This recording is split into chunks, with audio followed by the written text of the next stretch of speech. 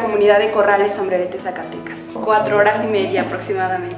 Aproximadamente hace tres años y medio que llegué a esta casa. Este, yo creo que ha sido de las mejores casas estudiantiles y ha sido pues de gran ayuda para mi formación académica. Actualmente me eligieron como coordinadora de la Casa Estudiantil Frida Kahlo. Este, pues la verdad ha sido de gran ayuda este, lo que se está llevando a cabo, que fueron la remodelación de algunas instalaciones de los cuartos de aquí de la casa. Bueno, pues mi papá es agricultor, mi mamá ama de casa y tengo cinco hermanos, yo soy la mayor y soy la única que está estudiando actualmente.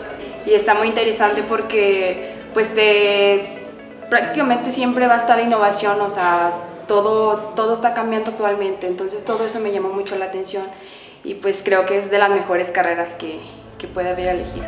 Pues la verdad me veo en una empresa, o sea, me gustaría ser de, estar en las, de las mejores empresas. Actualmente pienso hacer eh, mi servicio social en el, en el COSID, este, en un proyecto de investigación y también en un proyecto que está actualmente, que es una aplicación para turistas aquí en Zacatecas cuando se pierde nosotros lo que nos hacemos ahorita es ah, hacer el diseño, hacer el prototipo, hacer el, o sea, diseño de toda la aplicación este, para, para, estas, ah, pues para estas personas que realmente se pierden y siempre están aquí con nosotros. La verdad es una, una gran herramienta porque y una gran ayuda porque al principio pues yo no sabía dónde quedarme, ¿no? o sea, dónde, a dónde irme cuando me dijeron de esta oportunidad tan grande que son las becas y que se van renovando cada semestre, pues la verdad sí fue una gran ayuda para mí, para mi formación. No, pues que muchas gracias, que es un gran apoyo y la verdad este, son de las pocas universidades que lo tienen.